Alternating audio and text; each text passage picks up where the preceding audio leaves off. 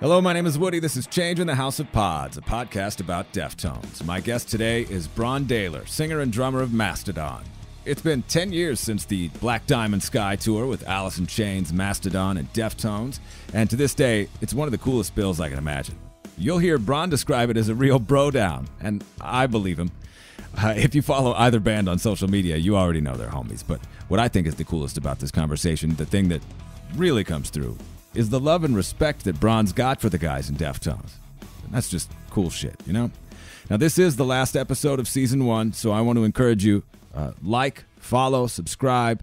The Change Pod is available on Apple, Google, Spotify, iHeart, Omny, TuneIn. It'll be on SoundCloud soon. On social media, uh, you'll get the most up to date and accurate information about the show directly from me. I'm at Woodbruh on Instagram and Twitter. You can also reach me and listen to the show on 93x.com. Season two is coming in the spring. I've already recorded a couple of conversations that I'm really excited to share with you, so don't lose me. In fact, uh, reach out, especially if you got a cool Deftone story. I, I want to hear it. And if you haven't yet, please listen to the amazing conversations I've had throughout season one with people who were there, like Frank Maddox, creative director at Warner Records, longtime Deftones fan. Still blows my mind. He, as a student, would throw stuff that he made, art he made for Deftones, on stage at their shows to try to get their attention. Unreal. And listen to my conversation with Cyrus King, who, as a teenager, managed to go home with Chino's guitar after Chino threw it into the crowd at the end of a show. Phenomenal story. There have been so many amazing firsthand accounts of magical moments shared on this podcast. I really can't express the depth of my gratitude, both to the tremendous people who have shared their stories here and to you for listening. I love this band. Their music means the world to me. And so these stories mean the world to me. These people mean the world to me. I am extremely grateful. Thank you. Oh, and thanks to those of you who shared your dream set list with me. Uh, we talked about it last week with Zach and Kelly from 30 Nights of Violence, and a bunch of folks contributed on the Deftones subreddit. It was really fun to read them all and think about seeing Deftones in concert again. Uh, a bunch of folks picked some of my favorites off the self titled stuff like Bloody Cape and Battle Axe. Seems like mostly everybody wants to hear Pink Maggit, which I think is cool for obvious reasons. It's an amazing song. It's maybe been played live once or twice, but honestly, I don't really know how it works in a Deftones set. I think it would be uh, it would have to be under pretty unique circumstances, like playing White Pony it's in, in its entirety, for instance. Uh, and somebody put uh, these three together: Boys Republic, Death Blow, and Lovers. And every time I think of Boys Republic, I think of uh, the acoustic version from the Live in Hawaii DVD because uh, I love it so much. But it made me think how cool those three songs would be acoustically, like Death Blow acoustic, Lovers. That would blow my mind. Never going to happen, though. Still fun to think about, right? Okay, well, I hope you're ready to learn what the fuck a Creed party is. And apart from how fun and cool Brann is, listen for when I asked him to talk about Abe's drumming. He gives the most heartfelt, thoughtful answer it's cool, man. This is my conversation with Brann Dailor from Mastodon. There's not many other bands that we are as close as we are with the Deftones. Did you know them before you toured together? The Black Diamond Skye Tour was like 10 years ago this month. Yeah. Which is wild. Did you know them at all before uh, that tour? We had a big night out in 2006 at the uh, MTV Music Awards in, in, uh, in New York City. Uh, there was a Warner's after party. We were there together and then we left together and you know it was an all-nighter uh, good times great oldies i don't know. It was uh yeah um i fanboyed out on abe i'm pretty sure. Um it was our first time hanging you know so uh it was really fun but and then throughout the years we just we had every time we met up we would be like oh my we got to tour together like when's this we got to do this. And we still do that you know because we we had so much fun on the Black Diamond Skye tour. I mean, the first night before the tour even started, we like like half half our band woke up in Frank's hotel room, like on the floor. You know what I mean? Like in Chicago, it was like, okay, this is how it's gonna be. All right. And that was um, it for a straight month like that, huh? Yeah, it was uh, definitely doing some damage. Um, because I mean, we just got on like a house on fire. You know, we were just like besties right off the bat. Uh, me, Frank, and Abe.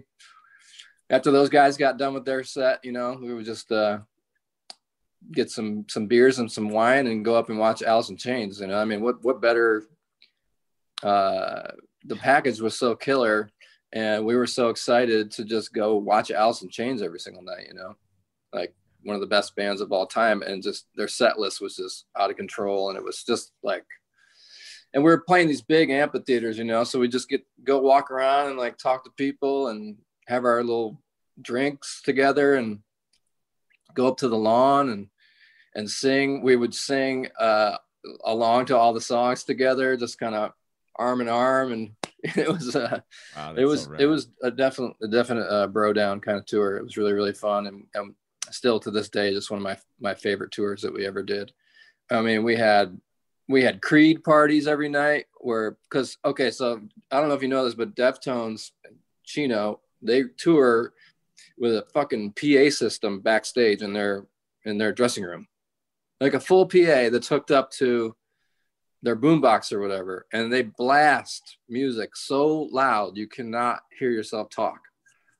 You know, and so they will just be blasting Creed like arms wide open. We all be back there singing along. So we just started having Creed parties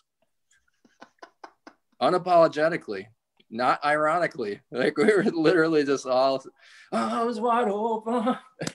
I mean, I know arms wide open, but my own prison doesn't really feel like a party song. And I, will be honest with you, I can't off the top of my head think of the rest of the catalog to be able to constitute an entire party. I think we just played arms wide open over and over again. but there was a lot of Judas Priest and a lot of Bee Gees and just dance parties. You know what I mean? It just was a, a real fun vibe. And those guys are just super fun, laid back, and they love to be on tour and they love yeah. to to just kind of relax after the show and just have fun, you know. And um, and so do we. Although we don't carry we don't carry a PA system to, uh, you know, they're just that shit is so loud, dude. Was it? That's so crazy. I knew that they were blasting I, on a previous episode of, my, of my podcast. I'd I'd heard that they, you know, they would blast music like, but what I heard was like hip hop uh, every night. There's before, a lot. There's it, it's all over the place. You know, they're they're into lots of different stuff. It's it's um same just just like us. You know, just into into everything. Uh, so, um, but that's the cool thing is is you know they're such music fans you know first and foremost above anything yeah. else they want to listen to music that they're into new music they're into you know just sort of get whatever they can get their hands on that's cool and new and unique and, and fresh and then the old stuff too like you know it's just just it's all about music you know it's not there's there's nothing else that really matters you know so you guys cool. uh, you guys like talk about music when you're uh, i mean you're out on the road together you're working your job is music uh, but do you like uh, and obviously you party a little bit but do you do you ever like engage in conversations about uh like bond over music in the sense that like um you know it's a lot there's a lot of like i think on tour with a lot of bands there's a lot of you talk about your show and you'll talk about um usually what went wrong you know Word. There'll be a lot of like technical talk about that. You know, you say, "Oh man, my left ear, my ear went out," and like I was trying to get Duder's attention and I couldn't, and da, da, da, you know, there'll be a lot of like, uh, there's a lot of talk of of what what happened during your set that that was displeasing, you know, or that audience was rad. Did you see that one dude, you know, do this, or did you see that one person have that sign, or did you see this, or you know, somebody that look crazy. You know, you talk about some somebody in the audience. You know, I think the audience is under this misconception that they are not seen by the band, but they totally are. You know, uh, people do weird stuff, huh? People do some weird stuff, yeah. Uh, so there's a, it's a lot of talk about. There's a lot of uh, there's a lot of gear talk, you know, nerds nerding out about about gear, especially with the guitar players and stuff. You know, they were talking about their rigs and uh, some new pedal they got, or some this or that, or this guitar, or this these pickups, or you know, when you first get on a tour with a band, that's a, that's a lot of like that's kind of what all the icebreakers. The icebreakers with every band is going to be their gear and like what they're playing through and what their rig is like and what's going on. You know, so you sort of. What, what, are those in, what are those in ears or oh, what, what sticks do you got over there or what, what are those pedals those are cool what are those beaters those are weird you know That's Oh, right. Let me check those out, or or what's going on? Like, hey man, what's that? What snare is that? What head is that? You know, so everything. You know, so that's the talk usually to get into it Yeah. and see if you're compatible. And then, like you said, you geeked out about Abe a little bit. Um, so I would imagine you guys talked about drumming and Not too much, you know. I mean, No? we talk about guys we like, you know, yeah, here and there, but I don't know. It's it's a lot of jokes. yeah. It's I've a lot that. of abstract conversation, to be honest with you. yeah. Yeah, we have a good like uh, back and forth, like having a, a non-conversation basically that can like confuse a, a third party, you know. And so that's a fun thing to do. It's always good to leave someone confused. That's dope. That's super funny. Um, but when you said you geeked out about him a little bit, was there something? I mean, so that means you were definitely into their music prior to even like getting to know him, yeah. Yeah, for sure. Actually, I was kind of a naysayer in the beginning. Like when Adrenaline came out, I was like, "Oh, it's one of these Korn bands." Like, you know, I dismissed them. You know, unfortunately, uh, I've told them this. You know, uh, and then I was like really super stoned at my my guitar player Erik Burke's house at a party, and it was like the day that Around the Fur had come out, and, and it, I was up sitting in his bedroom, and it and it hit. It was like boom, and it started, you know, it was really loud. And I was like, what? Who is this? And he's like, it's the Deftones. I was like, fuck, I've been talking shit about them. I got to take it all back. So that was when I, you know, realized it was the day around the fur came out. That's when I realized that they were a totally different thing and that they had their own thing going on. It was very super cool. And, I- and I, I fell in love with it, you know. And then I went through a breakup around that album as, as well. And I kind of used that to get through it. And then, like, I swear, when White Pony came out, I went through another breakup and I used it to get through that as well. So Wow. they, they were there for me for a couple, couple, couple breakups. that's some uh that's some heavy stuff uh i have that sense like i had a girlfriend who was like uh, I, like i can't i can't listen to this again it, it just it's so sad and i'm like but the sadness brings me joy you know what i mean Exactly. I don't know. Like, you, you, you know, people are always wanting to cheer you up when you're sad. You're like, maybe I want to be sad for a minute. Maybe Yeah. there's a reason that I, and you know, I'm not going to kill myself. I'm just, I'm sad right now. Give me a couple days. I need to listen to the Deftones. I'm going to sink into it. It's going to be fine. did you uh you obviously you probably watched a few of their sets while you were out on uh on the road together anything yeah, I that watched. like their- I watched every set. what did you what watched. you u- they watched us, and we watched them.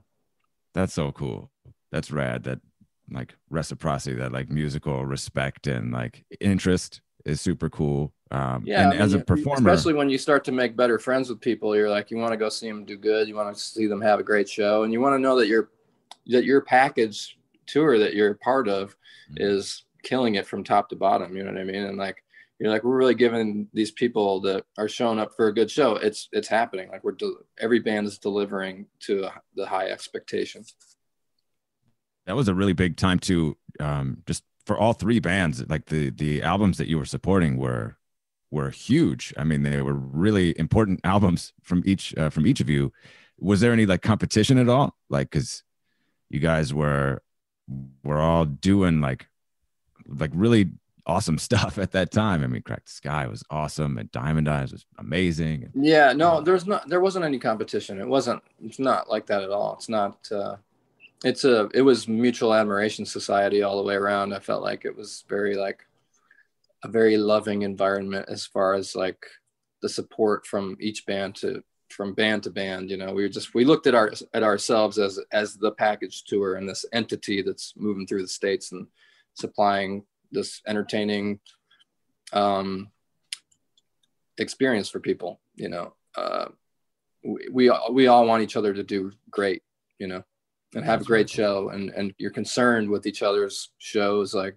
was it awesome? Did you did you kill it? Or i was watching you. Oh my god you guys are amazing. You know so it's it's more like that That's right. That's super cool. And I would imagine that as a drummer, you're probably pretty attentive to what Abe's doing. So I- wonder if you could talk about his drumming for me. Like, talk about maybe what you like about his drumming or what makes him unique. Um, from a drummer's perspective? It's, I mean, with Abe, it's just groove. You know, it's very. He can't. He can't not be groovy. You know what I mean? He's just like he's got it. Whatever that is, it's like I don't know. He's uh, got a got a, a unique soul, and so, but um, but he's also very interesting. He puts it together in a way that's interesting and uh, challenging. You know, uh, so there's this thing that that some drummers are capable of doing. That's you know, to the layman, you don't know that he's doing something difficult because your head is bobbing. You know, you don't realize there's something else going on underneath it. You know, I think Phil Collins was really good at this. Uh, Stewart Copeland is really good at this and sort of masking this technical aspect that's that's tough. There's a polyrhythm going on, you know, or there's something going on with the hi hats that's, uh, uh, you know, only the the person that has a well tuned ear is able to hear it, but but anybody can get into it because the pulse is still there. Where um, you could create the same thing without all that, you know, you just play it straight and not be interesting, you know, and no one would be the wiser. But there's something about the fact that he is taking the time to try to do something different and unique, coupled with maintaining that head bobbing, foot tapping beat uh, it just makes it perfect and makes him really uh, makes their band likable to a, a vast a, a, majority of people, but also endears him to uh, musicians, you know, because they can hear what he's doing, you know, and they know that it's it took time and it took imagination and skill. Do you? Um, I I love that you have brought up both my own summer and uh, Phil Collins uh, because I I saw Abe recently um, confess that that was my own summer was him uh, knocking off Phil Collins' uh, "Easy Lover," the Philip uh, Bailey song. The yeah, is the is is Phil Collins. Uh, I wonder if you've noticed like because we in talking about Abe and his drumming, like I've talked about Stewart Copeland, I've heard that name, and I've heard Phil Collins a couple of times. Are there other influences that maybe you're uh, that you're noticing, or other things that he's doing that um, that you? because I'm I'm always interested in pursuing the artists that my favorite artists are into, right? So, are there other like directions that that you can point to uh, with with respect to that bop and that rhythm and that that thing that he's doing? I don't know if I can like point to direct people, but I would say maybe a little bit of Stevie Wonder. And Stevie Wonder's drumming uh, is in there. Uh, Stevie Wonder played on most of his 70s albums uh, Talking Book, Fulfillingness' First Finale, um, uh, Music of My Mind, and Innervisions. And if you listen to some of that stuff, you can hear some of there's that groove is always there, unquestionably, provided by the drums and provided by Stevie's um, playing on the on the keyboards and the piano. But um, there's also a lot of hidden uh, intricacies and nuance that's there. You know, which thing I think un- unfortunately has been over the years homogenized and watered down by the use of drum machines and things like that. Who in the early days we were not able to really be programmed in a way that was very interesting. You know, it's sort of made pop music, you know, uh, be that watered down thing. Whereas if you look at the early Genesis stuff and their version of pop music and the version of, of pop music that Stevie Wonder was playing before he discovered drum machines, there's a lot of interesting stuff going on with the drums, especially that has gone. It's kind of gone now from really popular music, which is you know whatever. But um, I think if you listen to some of those early uh, Stevie Wonder records, you'll hear some. You'll understand. You'll hear what I'm talking about as far as like that constant pulse is there, right? But yeah. underneath it all, there's all this other stuff going on. There's big, we, there's weird fills. There's crazy hi hat stuff. There's, um, you know, so I'd, I'd say Stevie Wonder. That's really rad. I mean, I've listened to Innervisions a bunch. Yeah, for sure. Um, but I, I, definitely did not know that he was playing the drums. That's really cool. I didn't. Yeah, that'll, that that'll once you listen back, it'll be like, holy shit, dude is a monster yeah. drummer. wow, that's really cool. That's super yeah. sick. Um, do you have? Uh, well, have you had the opportunity to, to listen to uh, to Ohms their their new album? Yeah, absolutely. We, I mean, I listened to it the uh, when the first song came out uh, at midnight. We were up. we blasted, played it, I don't know, five or six times in a row. Um, and yeah, I've been listening to it ever, ever since. I think it's rad. I'm what? so stoked for those guys just to keep on churning out the the gold. You know, they just keep doing it. What um, do you have? A, do you have a favorite song or a favorite track off of, off of Ohms? Is there anything that's that you're really feeling? I don't know. I, it's just like in my truck, so I don't even know the names of the songs. I just it just rolls, start right? To, it just rolls start to finish. That's cool. I feel like there's a similarity between I mean, your. I love band. Genesis. Yeah. Yeah. Yeah. It it's uh there's something about getting kicked in the ass right out the gate uh, with Deftones yeah. who who have that, that capability of going so soft and um you know uh, lulling you a little bit uh, into thinking. Oh, I know. Safe. Yeah. yeah, I always am in like uh, I uh, remember like wanting to talk to them so like because I could hear all these influences, you know, that I, I, was curious, you know, are you guys, you like Dead Can Dance or do you like Cocteau Twins or do you like, you know, all these groups that I was sort of hearing come through, you know, like I, I bet you anything these guys listen to like Blonde Redhead or I bet you anything they listen to Cocteau Twins. I know it, you know, I can just tell by the guitar and I can tell by Chino's voice, you know, so uh, Did, they do. You ever, have you ever yeah. had that conversation? yeah. Yeah. Absolutely. Yeah. And in their and their B sides record came out with the Cocteau Twins cover. I was like, I knew it. um, uh, there there is I think some similarity too with Deftones and, and Mastodon in that you guys are uh, both really, especially uh, with Deftones. I think over the past um, ten years, like crafting albums, like creating full collections of songs as opposed to uh, just putting songs together. Um, what what motivates that? Like, especially in an era where you know now it's you know put out a song. Um, why make albums? I guess just because we're old or something. I don't know.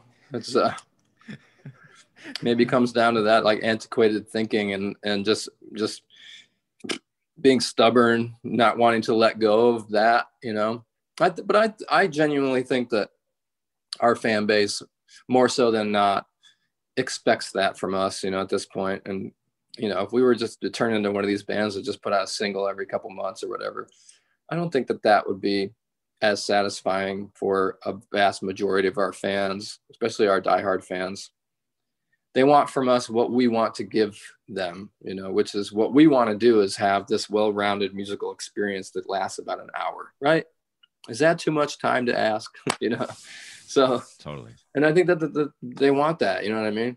Uh, they want that that immersive experience. They want a story to read along with. They want the art to to look at. You know, that goes along with all the songs and is kind of you know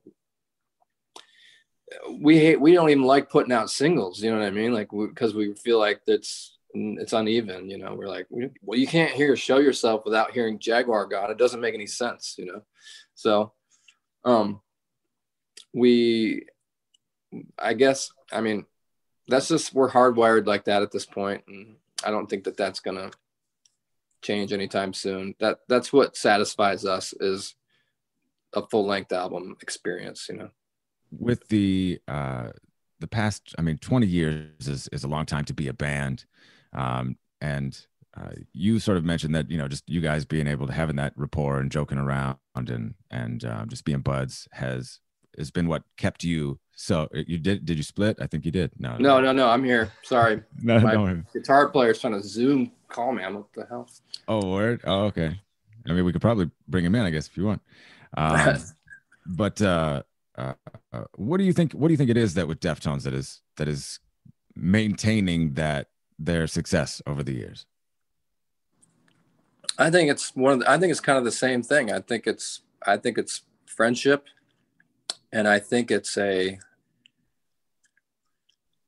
you know I mean, they're like each other's best friends for since they were kids. You know, they're they're they're truly brothers. You know, and they have just been through everything together. And I don't think either any of them, you know, is going to wake up one day and be like, "I quit" or "This is over." You know, uh, I think that they, at the end of the day, they they they just feel lucky to still be able to make music together, you know. And I think the loss of Chi really brought them together as well, you know, and how how fleeting this all is, and how lucky they are to have each other and have the music that they make, and to have fans and to have people that care and we want to listen to it, you know. Right so I think that that's what, and I think you know, Steph smokes a lot of weed and sits around and plays his fucking guitar all the time. And he's like, so hey, I got some ideas, you know, and and uh, better than that. and and and and Abe is like, fuck yeah, let's do this. Let's go on tour, you know. Let's play some music. And uh, you know, I think it's the same with us, you know, we're just like at the end of a very long tour when everyone is totally wiped out, it's like, let's take like a year off, you know. It's like, yeah, oh my God, we're beat up, you know yeah. been out here for too long. And then you get home and you're home for two weeks, and then it's like, hey, you want to jam? I got some riffs, you know.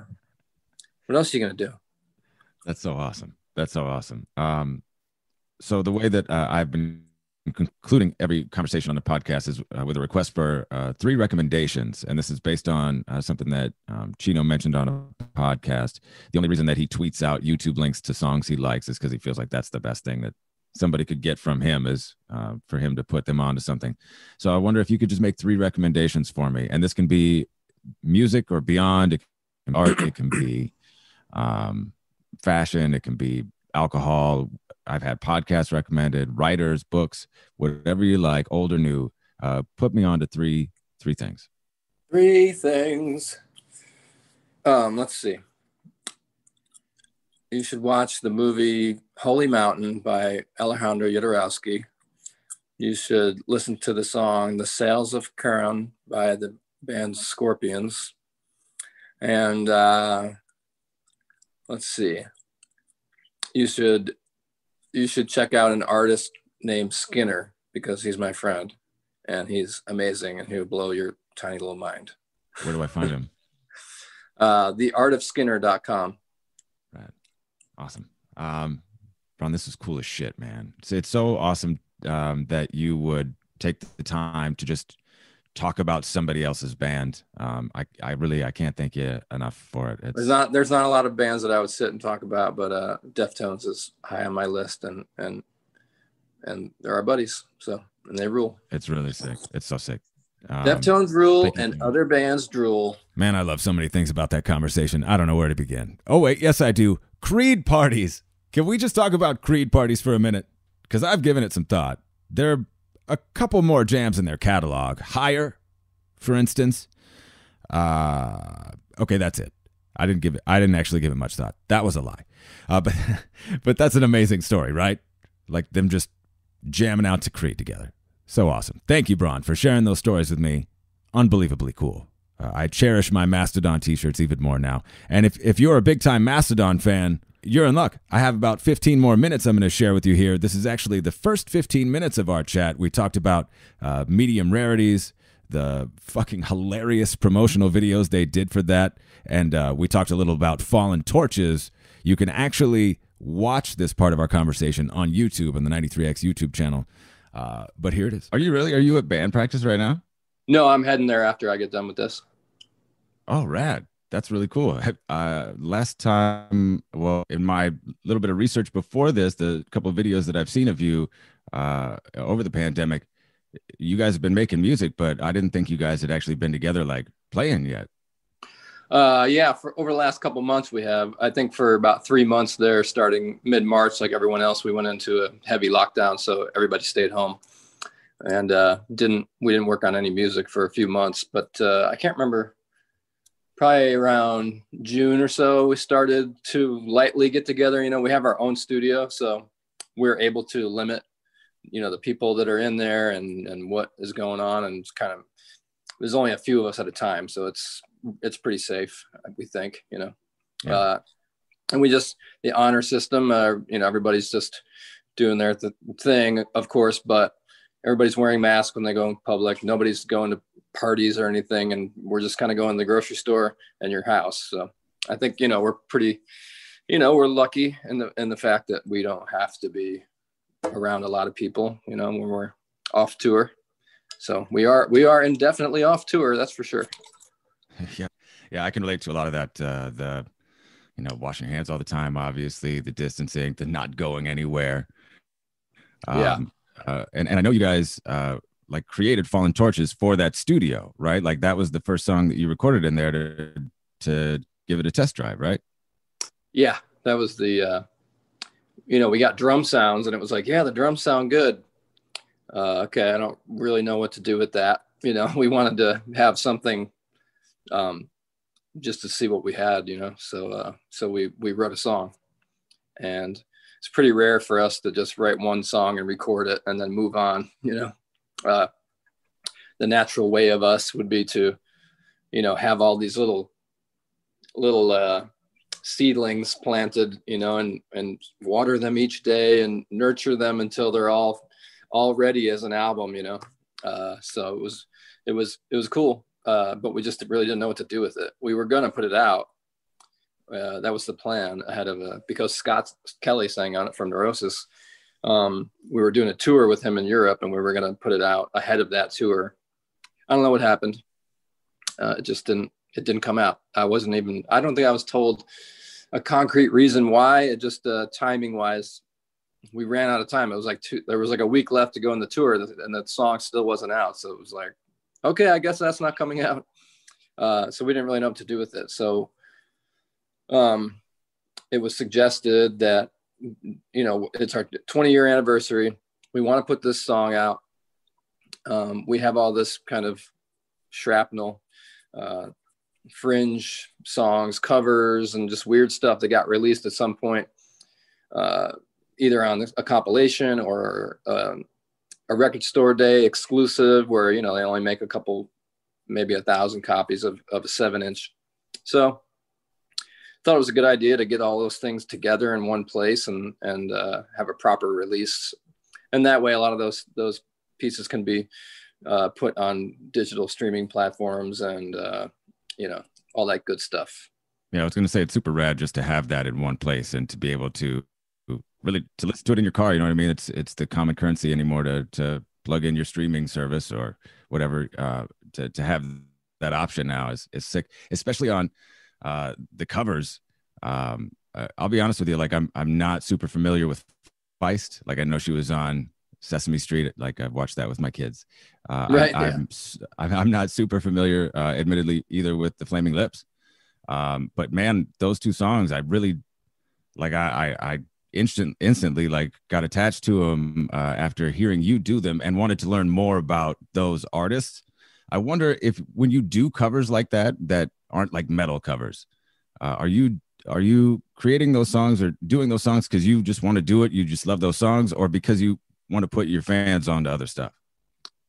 Um well i guess when you're doing covers I'm not going to say that it's boring to do metal covers, you know, but it sort of doesn't make a ton of sense, you know, because it, unless it's like, unless we're asked to do something, you know, like with the Orion cover. I mean, we love Metallica, and we, but I mean, we're sort of in the same realm, so it doesn't make a whole lot of sense for us to do a Metallica cover because it's going to sound really similar. There's not much that we could do with it that they haven't already, you know, it's in the same ballpark. So it's a lot more interesting, I guess, to to do something that's uh, you know like a Feist cover, which is sort of out of left field for people, uh, for especially for our fans. But it's not like we're trying to shed light on. I mean, we are in a, in a way trying to say, hey, this is some other music that we're into. I mean, you know, we're into lots of music. We're into as much as I'm, you know, was raised on heavy stuff and prog and all that. I was raised on a lot of other music as well, like Stevie Wonder and uh, you know lots of R and B and funk and and jazz and just everything. You know, my parents were just very well rounded as far as like the music that they listened to, and so therefore I listened to. And so, um, and then moving forward, being a musician, uh, if you know when you're when you play music for a living, or when you when when that's all you care about is playing music, you, you tend to want to experiment with with everything. You know, you're not just sort of locked in on one genre. If it's good, it's good. You know, so um, when I, when when it comes down to like a, a flaming lips lips cover we did it because we like that song a lot and we love that record and it's probably one of my favorite records. Uh, it's my favorite record by the flaming lips the soft bulletin. And so the drum sound on that album because of your song I, I had to go and listen to the album and the drum sound on that album is like insane. It's yeah it's so crazy. rad. i mean those guys are you know that they're just from another planet and and it, and it and it all works perfectly. Yeah i love them. So unique and cool. Do you yeah. um do you uh do you have the i mean obviously um you know what actually before uh, i move out of covers I, I do have to ask you about ozzy too the uh the over the mountain cover you did with two minutes to midnight. That was yeah. sick. You Thanks. really sounded great. Like have you sung ozzy before? Like have you done stuff like uh uh, Ozzy stuff, Black Sabbath stuff? Uh, I've been singing along to Ozzy since I could since I can remember. You know, um, one of my first true musical loves was uh, was Ozzy and Randy Rhoads. You know, I really was. I don't think I listened to anything else between the ages of eight and eleven or twelve, except the uh, the Ozzy tribute album, the Randy Rhoads tribute album. Um, I know it, but like like I know. I mean, I just know that that album from start to finish. I know every. I can sing every single guitar solo. I know every single subtle nuance of Ozzy's voice, his inflections. I mean, I'm like, it's uh, it's real deep in there. So, right. doing over the mountain, um, I I just know that so well, and uh, I know every little dip and you know nook and cran- all the nooks and crannies of that song in particular, Blizzard of Oz and and uh, Diary of a Madman, those two albums back to back. I just consider them to be one album, you know. Um, but yeah, I love. I'm a huge Ozzy fan, and he, you know, his vocal style has just come, you know, even just subconsciously has has informed everything I do vocally. You know what I mean? There's no way that I can escape it. It's just like the the aesthetics of my vocals, you know, the the the vowel choices that I make uh, the the structures and the way that I lay vocals over a track are pretty Ozzy centric. I feel like you know, um, so the opportunity to do that was like I was so excited about it. You know, to, did they uh, hit you up? Like, how did that happen? Yeah, they did. They said uh, I had done the Alice in Chains song with them, where I, I did the Cantrell vocal and I played Sean's drums. Um, and they were they hit me up like, "Hey, what do you think about doing over the Mountain by Ozzy, and I was like, yes, show off my show off my uh, Ozzy impression, you know. yeah, not just so, the impression, yeah, but really the full look to do it. Dude, huh? the full look too. Like you pulled off the full. uh I mean, the, I don't know. My hair was a, little, was a little was a little puffy. Everyone was saying I look like Weird Al Yankovic, which I'll take. oh, that was rad. I mean, obviously, you guys have been um, uh, putting your sense of humor out for for a while. Um, so I do want to ask about the promos for medium rarities and uh, uh, you guys in the kitchen cooking. Uh, who who who comes up with that? Like, and and was it all improv? Like, what? How did you guys make that happen? I I guess I came up with the basic idea of like I feel like it would be you know they they were saying or you know management and the label were like do you guys want to film some like promo videos for this thing? Like let's do something you know? Let's not just put it out. Let's let's do something. You guys are funny so can you come up with something cool that we could do? So i just thought it would be funny if we were like line cooks in some kind of kitchen and we're in the weeds you know and, and we're putting out this horrible food with like broken cds and and broken albums and you know sweating tickets in the air you know the whole deal, and the man manager of the restaurant getting pissed off at us. Uh, and so I had that little that small idea. Oh, and then we finally uh, put our heads together and come up with what is medium rarities, and we have the album like served up looking like a gourmet, uh, a, a well plated dish. And uh, so we gave that to our, our, our friends, uh, Numerica, which is like a production company out of Atlanta that um, we work with pretty frequently. They do all like the Orange Amps commercials and they've done some they, we've done a bunch of stuff with them where they've they've filmed it and and they're really funny as well. So we basically handed them the idea and then they took it and ran with it and made it better and and funnier and and then it was up to us just to kind of there was no there was just like here's some stuff and you have to you're filming a cooking show and you're presenting your recipe. So that was for each of us. It was whatever we wanted to do, and it was just, it was completely unscripted. It just we just did our thing. It was one take, and you know there you go. They're so, so good. They're so funny. Like yeah, they came out really each, good. Each of your individual ones, I thought even like it all came together. So and the editing is brilliant. Do you have a favorite one? I like Troy's. I think is my favorite. What does he say? It's okay to make make mistakes. It's okay to make mistakes. Yeah, he was really really funny. I mean, I think all the guys killed it. You know, they were all really funny. Brent's. I mean, yeah, they were all. Yeah, everybody. Uh, everybody showed up for that one. There was no like duds. I didn't think. You know, everybody was really funny. I mean, you know, we spend ninety percent of our time together on the road and in in each other's company, trying to make each other laugh. Like it's just a nonstop.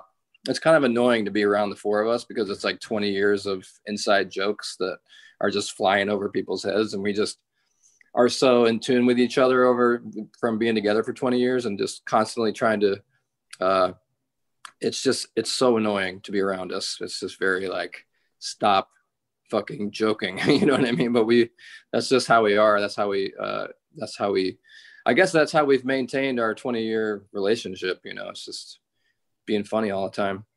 That's cool as hell so, so uh, you, you're gonna go be funny with the guys in a in a little bit. Go to rehearsal. What are you guys gonna rehearse?